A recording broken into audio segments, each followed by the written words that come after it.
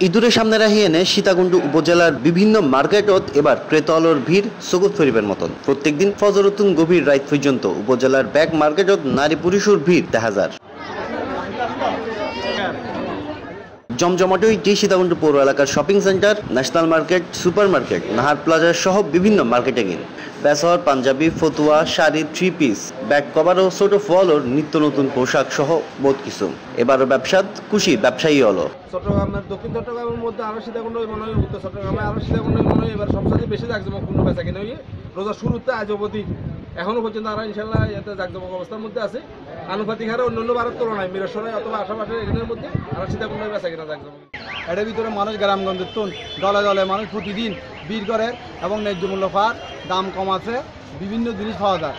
হ্যাঁ যে শাড়ি পায়জামা পাঞ্জাবি ছোটোদেরও কাপড় চোপড় পাওয়া যায় দামও সস্তা আছে। এবার ব্যবসা বাণিজ্য লয়ে এনে পৌর ব্যবসায়ী সমিতির সাধারণ সম্পাদক বেলাল হোসেন জানাইল দি করি আরা ব্যবসায়ী কম সবাই একজোট হয়ে আরা এই ন্যায্য মূল্য মানে ক্রেতার নাগালের বাইরে রাখি আরা করি আরা বাজার কমিটি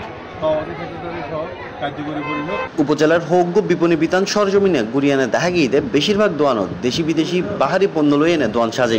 ইঁদুর বেচা কিনারে লই এনে প্রশাসনও বাড়তি নিরাপত্তা দিবের ব্যবস্থা করছে আর ব্যাগিনে মিলিয়ানে খুশি ক্রেতা হলো আর আর পরিবার প্রত্যেক সময় আই দামও খুব আহ, ভালো প্রত্যেক সময় আই এখন বেশি খুঁজি না কমও খুঁজি না। আর আছে শাড়ি- মানুষ।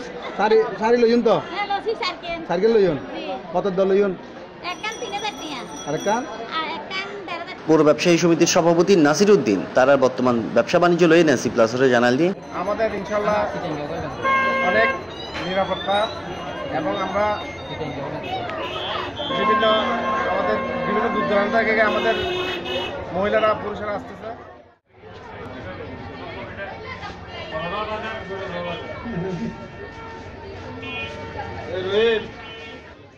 X news C plus TV এই যে দেখো কেওয়াই এর মুরগি মার্কেট ঠেউটিন দিয়া বানানো আমার ঘর। কেওয়াইয়ের মুরগি মার্কা ঢেউটি লাগাইলেই হিট।